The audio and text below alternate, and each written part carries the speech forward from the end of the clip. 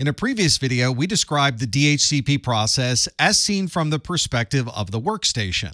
But what are the configuration settings that we need to make inside of the DHCP server itself? Well, first, we'll need an IP address range. We'll need to understand exactly what IP addresses will be assigned by this particular DHCP server, and we'll need the associated subnet mask for that IP address range. We'll also need to determine how long a workstation can hold on to the same IP address. We'll make that configuration setting under the lease duration. And we'll also want to configure the DHCP server with DNS server settings so that your instations can be configured with an appropriate DNS server IP address, a default gateway setting, and if you're using things like voice over IP servers, it'd be nice to include the options for that along with all of the other IP configurations. When the DHCP server assigns an IP address to a device, it's choosing an available address from a pool of addresses that you've previously configured inside of the DHCP server. For example, you might have one subnet pool that is 192.168.1.0 slash 24, which means anything in that subnet can be assigned as an IP address from the DHCP server. These IP scopes are usually a very large contiguous range of IP addresses, and your DHCP server simply from any available address inside of that range. But there may be times when you'd like to set a DHCP reservation or exclude certain IP addresses from that range, and you can certainly create those exceptions within the DHCP server. Here's a DHCP server that's running on a Windows Server device. This specifies the scope of 165.245.44.0. And underneath that scope, we have a series of address pools. So we know what IP addresses will be assigned. We have address leases, so we can view what IP addresses have previously been assigned. We can configure IP reservations. So if a certain device should always receive the same IP address, we can configure that in that section of the DHCP server. And we have scope options, which allow us to configure additional parameters. For example, we might want to add the IP address of a voice over IP gateway so that all of the devices on your network would know exactly what IP address to contact. If you're using DHCP at home or in a small office, your DHCP server may not be on a Windows device, it may be on an embedded router. This is the web front end to an embedded router that shows that the DHCP server is enabled. The start address on this network is 10.10.10.2 and the end address is 10.10.10.100. So we can expect this DHCP server to assign addresses starting with the .2 all the way up to .100. This DHCP server specifies the address lease time in seconds, which is a bit unusual. But if we know that 86,400 seconds is the same as 24 hours, then this configuration works just fine. The gateway is configured as 10.10.10.1, and we have DNS configurations that will also be assigned to our local devices.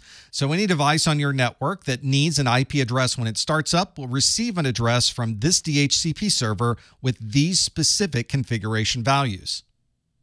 For most devices connecting to a network and receiving a DHCP address, they're receiving a dynamic assignment. This means they could receive any IP address from that large pool of IP addresses that we've previously configured. And after your lease period has timed out, those addresses will be available for another person who connects to the network. Many DHCP servers will also have an automatic assignment where they will keep a list of everyone who's previously connected to the network. And if you happen to connect to the network again after a short period of time away, it will remember your previous assignment. And if that IP address is still available, it will assign you the same IP address you had originally. You can also take this one step further by configuring a DHCP address reservation, which means that a device connecting to the network will always receive that same IP address, and that IP address will never be given to a different device on the network. This is usually configured based on the MAC address or media access control address, which is the burned in address on a network interface card. Every device has a unique MAC address, and that allows us to associate a device with a particular IP address. You might also see this referred to as a static DHCP assignment, static DHCP, a static assignment, or an IP reservation. Here are some DHCP reservations in my DHCP server on a Soho network. You can see a MAC address is listed along with an IP address, and the host name for this device is Prometheus. I have another device listed by MAC address. You can see that is a different MAC address than the original. It gets a different IP address, and the host name for that device is Odyssey. This means that when Prometheus starts up, it will always receive the IP address of 192.168.1.6, and that IP address will never be assigned to another device on this network. When a device is dynamically assigned a DHCP address, it's a temporary assignment. After a certain amount of time, that device must check in again to the DHCP server to let it know that it is still working with that same IP address, or the lease will time out and that IP address will be available for others. The amount of time in that lease is determined by the configuration within your DHCP server. We saw on my DHCP server the lease times are 24 hours, but you can administratively configure that to be any value you'd like. There's also a reallocation process that can occur. If you reboot a device or you leave the network and then return to the network, it will renew that lease and continue using the same IP address. And there may be times when you would like to administratively or manually release that IP address, hand it back to the DHCP server, and then either leave the network or request a new address from the DHCP server. When a device receives an IP address from a DHCP server, there's a timer that starts that is the length of the lease time that's configured for that DHCP server. We mentioned earlier that once that lease timer has expired, that IP address is returned to the DHCP server and it can be assigned to others.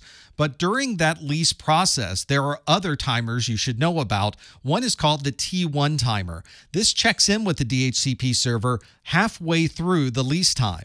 So if your lease time was eight days, this T1 timer, which is 50% of the lease time by default, will check in after four days and let the DHCP server know that we would like to keep this IP address for another lease duration. At that point, the timer resets to eight days and we start counting down again.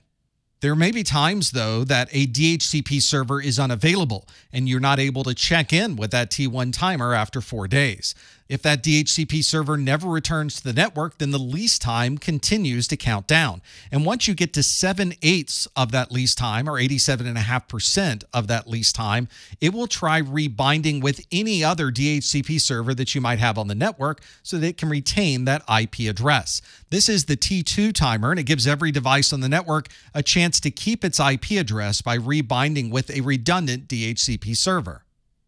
Let's look visually at how this DHCP process might occur. Let's say in this particular network, the lease time is eight days in length. That means your T1 timer, if it's 50% of that time, would be four days, and a 7 eighths timer of T2 would be seven days in length.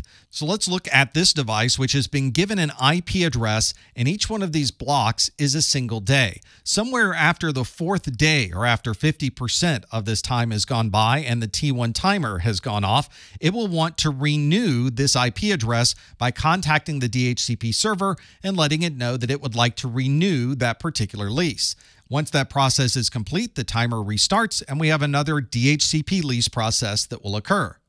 However, during the second lease process, our original DHCP server is no longer available, so we're not able to check in after that T1 timer has completed.